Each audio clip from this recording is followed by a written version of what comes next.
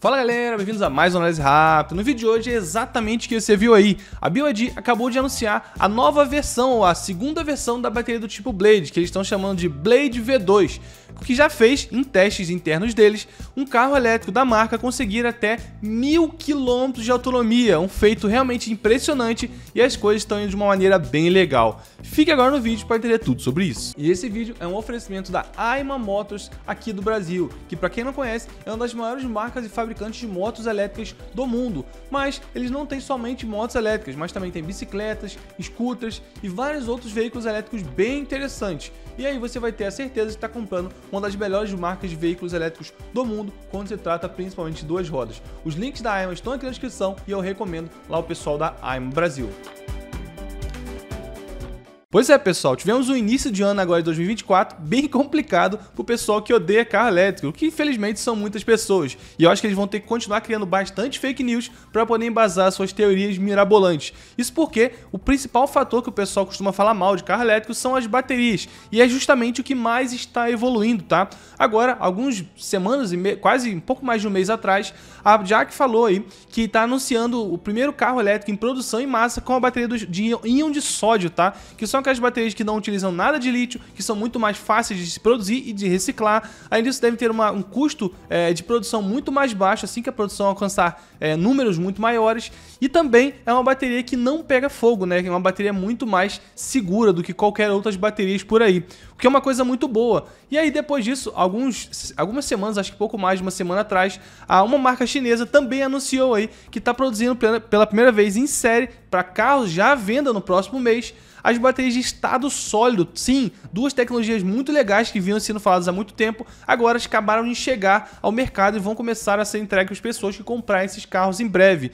E não podemos dizer ainda mais coisas sobre isso. Agora a BYD, ontem ou anteontem, acabou de anunciar aí as baterias do tipo Blade novas, né, que continuam utilizando a mesma química lítio-ferro-fosfato, mas dessa vez com muitos incrementos tecnológicos, principalmente na sua densidade de carga, o que significa que ela vai entregar muito mais é, capacidade de carga no mesmo peso e tamanho do que as Blades anteriores, com um preço ainda menor e todos os aspectos de segurança e peso é, mantidos das Blade uh, anteriores, o que é realmente uma coisa muito legal e é muito bom ver os carros elétricos evoluindo, evoluindo cada vez mais no ponto que mais o pessoal acaba criticando eles. Vamos lá, vamos contar um pouco dessa história em partes aqui.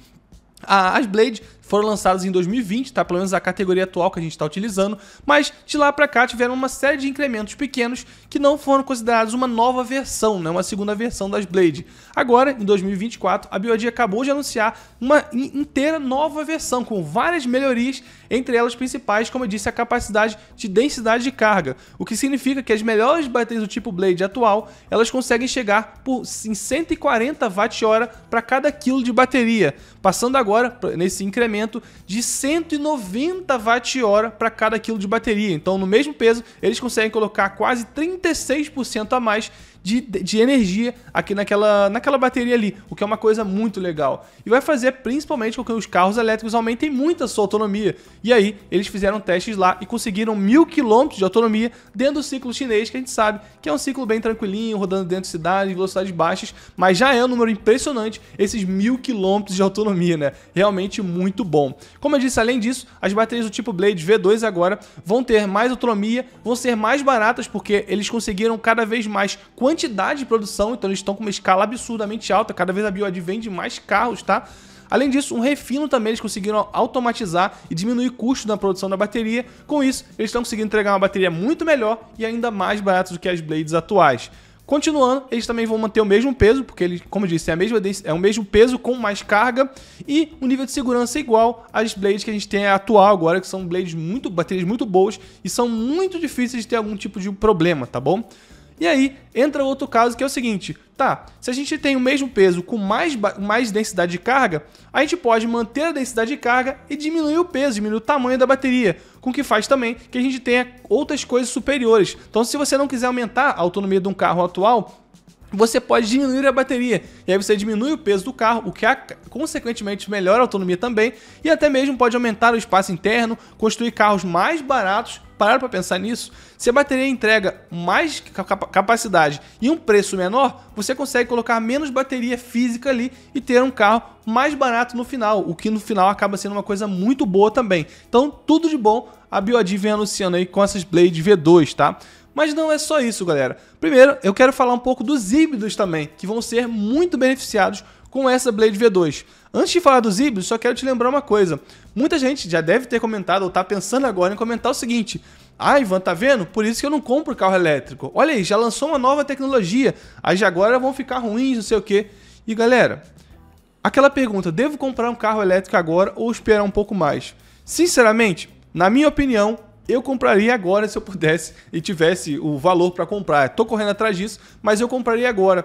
Por que eu falo isso, galera? Se você for esperar ter é, um carro melhor para poder comprar, você nunca vai comprar, porque a tecnologia vai evoluir cada vez mais. Vídeo, por exemplo, celulares e, e aparelhos de tecnologia em geral, que cada vez eles vão lançando novos modelos novos. E se você quiser comprar o um modelo novo, o melhor modelo, você nunca vai comprar, porque ele vai estar sempre ali evoluindo. Então, na minha opinião, é: ache o carro elétrico atual que tem aí um melhor custo-benefício para você, que entrega tudo que você precisa que você tenha o valor que, você, que aquele carro custa e compre o carro. Ah, Ivan, mas depois vai lançar o melhor. Tá bom, mas lançando o melhor, o seu carro ainda continua atendendo às suas demandas. E mais ainda, se você não comprar um carro elétrico agora, você já tem um carro a combustão, você vai estar tá gastando gasolina, manutenção, vai estar tá numa tecnologia mais antiga comparado às, de, às tecnologias atuais de carros elétricos e vai sempre estar tá esperando o novo carro e nunca vai comprar. Bom, essa é a minha opinião. E se você for esperar o melhor carro elétrico para comprar, você nunca vai comprar nenhum carro elétrico e vai continuar com o seu carro antigo, a combustão, queimando gasolina, gastando com manutenção e gastando com tudo mais.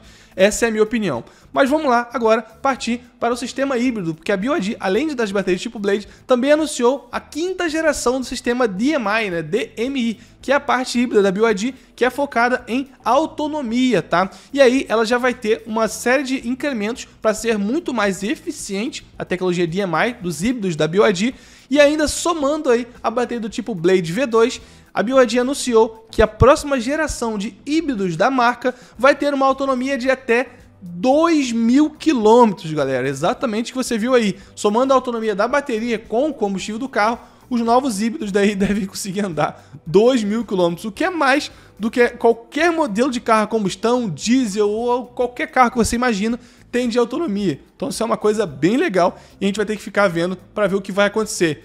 Cara, sinceramente, um carro elétrico que passando mil, de mil quilômetros de autonomia já é uma coisa absurdamente impressionante, né? Bom, essa é a notícia, espero que vocês tenham gostado e fiquem ligados no canal porque a gente vai estar sempre trazendo novidades do mundo elétrico e outras tecnologias que são ligadas a esse mundo também aqui no canal, tá bom?